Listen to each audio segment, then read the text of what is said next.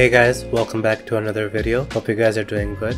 So in this video, I will be making phyllo dough. So if you remember my last video last weekend, I made baklava. And those are super awesome. But in the video, I said that if you're gonna make baklavas, you should probably buy the phyllo dough because it is quite a hard dough to make. And then in the video, I also said I would probably try making the dough myself anyway because I like making, I like cooking, but I specifically enjoy working with dough and stuff. I don't know, I just like the sensory of kind of mashing the ingredients together, forming the dough with my hands, you know. It's just fun. So I did end up making it. So I had also said if I do end up making it, I would say if it's worth buying the dough to make your baklavas or if you or if you can just make the dough and then make your baklavas from scratch. And I would say, even though this is harder than regular dough, it's really not that hard. It will take a lot more patience though, because when you're kneading it, you want the dough to be really soft, like really, really soft and elastic. So you'll have to knead it longer. Not only that, but the amount of like how much you have to roll out the dough is a lot more, and you have to really,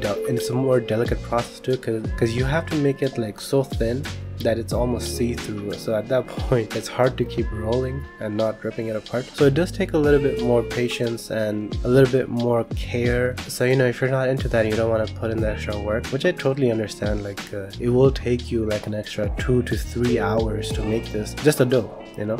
Making baklava itself is like a cooking it is like 50 minutes and then preparing it is like 10 20 minutes. So the actual baklava process only takes you like a little over an hour but making dough itself is like two to three hours. So if you just want to buy the dough i completely understand and i would honestly probably recommend do doing that unless you just enjoy making dough and working with dough like i do. Then i would recommend you make this because um let me tell you it was very fun. Amazing how supple the dough was and and it was also very i don't know i had this sense of like wow i made that type of thing you know? It's kind of stupid because it's dough but you know cooking will give you that that dopamine effect from time to time and making this was definitely fun and one of those moments.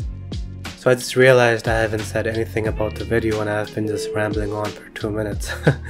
but that's okay because this is the most important part. So we roll out each dough ball into like 5 inch diameter little sheet and then we stack them and then we roll them out together. But we want to put cornstarch between each layer so that they don't get stuck.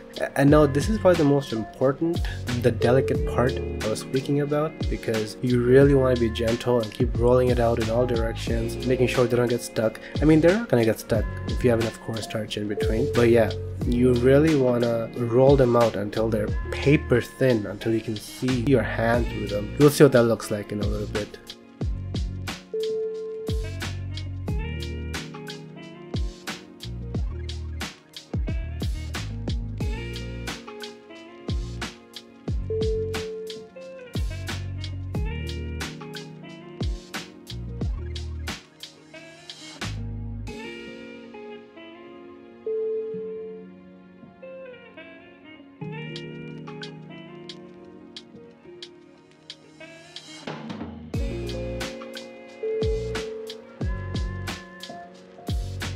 And then after I made the phyllo dough, I decided to make a little dinner dish.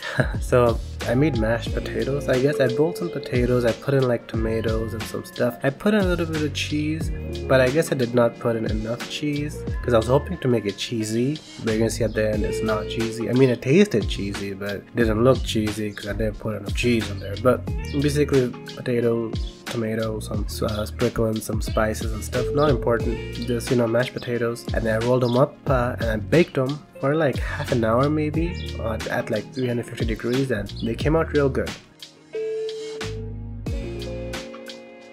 Thank you for watching. Make sure to like and subscribe if you liked, and that's it. Nice and easy, but more importantly, nice and lazy.